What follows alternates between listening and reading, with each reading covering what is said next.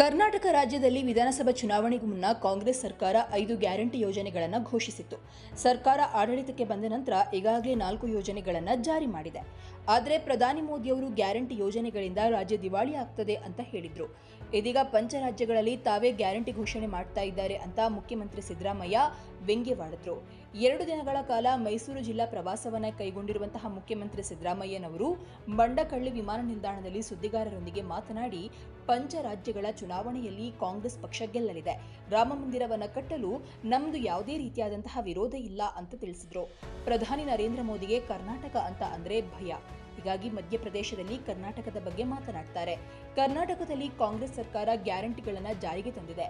ಈಗ ಮೋದಿ ಕೂಡ ಪಂಚ ರಾಜ್ಯಗಳಲ್ಲಿ ಗ್ಯಾರಂಟಿ ಘೋಷಿಸಿದ್ದಾರೆ ಅಂತ ಮುಖ್ಯಮಂತ್ರಿ ಸಿದ್ದರಾಮಯ್ಯ ಹೇಳಿದ್ದಾರೆ. ಇನ್ನು ಲಿಸ್ಟ್ ಬಗ್ಗೆ ಯತೀಂದ್ರ ಮಾತನಾಡಿರುವ ವಿಡಿಯೋ ವೈರಲ್ ವಿಚಾರವಾಗಿ ಮಾತನಾಡಿದ ವಿಧಾನಮಂಡಲ ಅಧಿವೇಶನದಲ್ಲಿ ಬಂದು ಎಚ್ ಡಿ ಕುಮಾರಸ್ವಾಮಿ ಚರ್ಚಿಸಲಿ ಕುಮಾರಸ್ವಾಮಿ ಎಂದಾದರೂ ಸತ್ಯವನ್ನ ಹೇಳಿದ್ದಾರಾ? ಎಚ್ ಡಿ ಕುಮಾರಸ್ವಾಮಿ ಹೇಳಿದಂತೆ ತನಿಖೆ ಮಾಡಲು ಆಗೋದಿಲ್ಲ. ಮಾಜಿ ಸಿಎಂ ಎಚ್ ಡಿ ಕುಮಾರಸ್ವಾಮಿ ಹೇಳಿಕೆ ಹಿಟ್ ಅಂಡ್ ಕೇಸ್ ಇದ್ದಂತೆ.